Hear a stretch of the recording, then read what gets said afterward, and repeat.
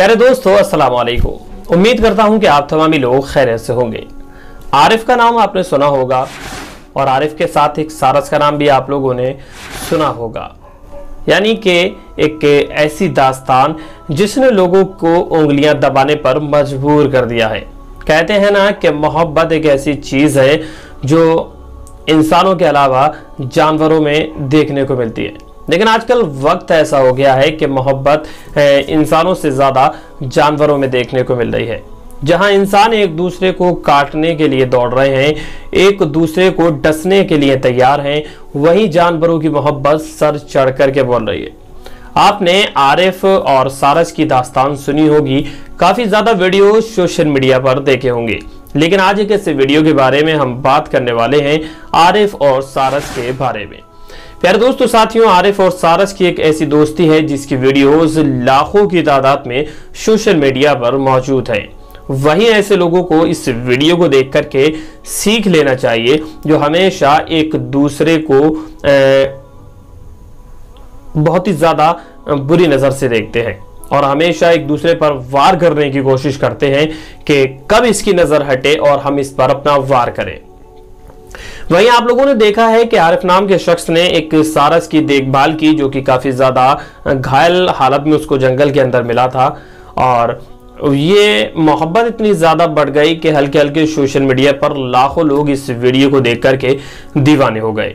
लेकिन अभी पिछले कुछ दिन पहले ही उस सारस को जो है, वन विभाग के लोग ले गए, जिसके जाने के बाद सारस भी मायूस हो गया और वहीं दूसरी तरफ़ आरिफ भाई भी काफ़ी ज़्यादा मायूस हो गए। दोनों ही मायूस रहने लगे। चूँकि कुछ पॉलिसी वगैरह है, इस वजह से वहाँ से सारस को ले जाया गया। लेकिन मैं आप लोगों को बता दूँ कि आज 11 अप्रैल को फिर सारस से मिलने के लिए आरिफ भाई बिजनौर, शायद हाँ बिजनौर में है, बिजनौर पहुँचे और वहाँ जाकर के उन्होंने अपने कानपुर पहुँचे। कानपुर जाकर के उन्होंने सारस को देखा। उनके वहाँ पहुँचना हुआ और देखा गया है कि किस तरह से जो बैरिकेडिंग की गई है उस सारस के लिए। आरिफ को देख करके वो सारस यहाँ से वहाँ कूदने लगा। यहाँ तक कि वो उसके अंदर उड़ता हुआ भी नज़र आया। सब तस्वीरों में साफ़ तौर से आप लोग देख रहे हैं। यानी कि आप ये देखिए कि मोहब्बत जो है किस तरह से सर चढ़ कर के बोल रही है। एक इंसान और एक परिंदे की एक ऐसी मिसाल, एक ऐसी दोस्ती, जो कि शायद आप लोगों ने सिर्फ़ और सिर्फ़ किस्से और कहानियों के अंदर सुनी होगी। लेकिन यहाँ पर ये बिल्कुल साफ़ तौर से दिखाया जा रहा है। आरिफ जब वहाँ पहुँचे तो काफ़ी ज़्यादा खुश नज़र आए, क्योंकि उन्हें उनका खोया हुआ वो सारस मिल गया, जो कि पिछले काफ़ी दिनों से क्वारंटाइन किया हुआ है। हम आपको बता दें कि वो चिड़ियाघर में क्वारंटाइन है उसके लिए किसी को नहीं मिलने दिया जा रहा, लेकिन तमामी तरह की उसके लिए सुविधाएँ वहाँ पर मुहैया कराई जा रही हैं सीसीटीवी कैमरे लगाए गए हैं, जिससे कि उस सारस को किसी तरह की कोई भी परेशानी ना हो। आज आरिफ भाई जब वहाँ पर पहुँचे तो सारस काफ़ी ज़्यादा खुश नज़र आया, खुशी के मारे यहाँ से वहाँ वो झूमने लगा, यहाँ से वहाँ दौड़ने लगा। तो दोस्तों, इस वीडियो को देखने के बाद आप लोग सोचिए कि आज इंसान जो है, इंसान का खून पीने के लिए तुल गया है। इंसान इंसान पर इस तरह से नज़र गड़ाए हुए है कि कब इसकी नज़र हटे और मैं जो है, अपना पंजा इस पर मार दूँ। तो आप लोगों को अपनी ज़िंदगी में लोगों से मोहब्बत करनी चाहिए। और इस सारस पक्षी से वो सब कुछ सीखना चाहिए। ये बेजुबान है, जबकि हमारी ज़ुबान भी है। अल्लाह रब्बुल इज़्ज़त ने हमें अक्ल भी दी है, हमें दो हाथ पैर सब कुछ दिए हैं।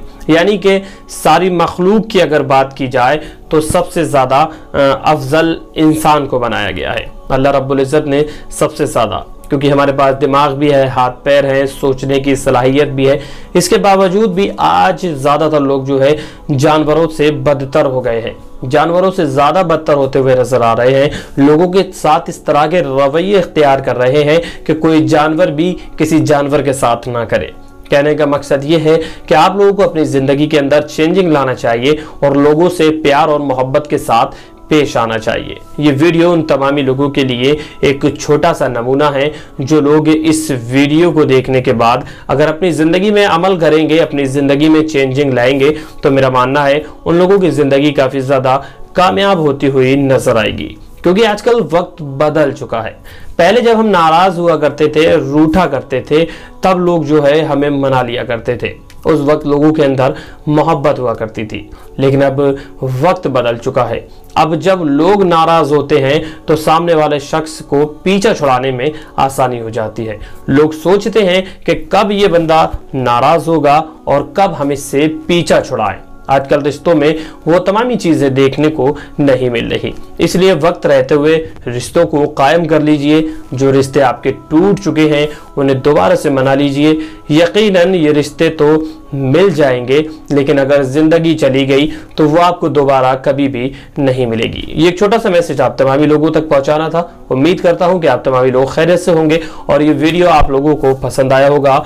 वीडियो अगर आपको अच्छा लगा हो तो नीचे लाइक कर दीजिए, चैनल को सब्सक्राइब कर दीजिए और हमें इंस्टाग्राम फेसबुक ट्विटर पर भी फॉलो कर लीजिए। तमाम तरह की अपडेट जानने के लिए आप लोग हमारे चैनल पर बने रहें। हम मिलते हैं आपसे एक और कामयाब वीडियो के साथ। तब तक के लिए अल्लाह हाफिज़ दुआ खैर में याद रखें।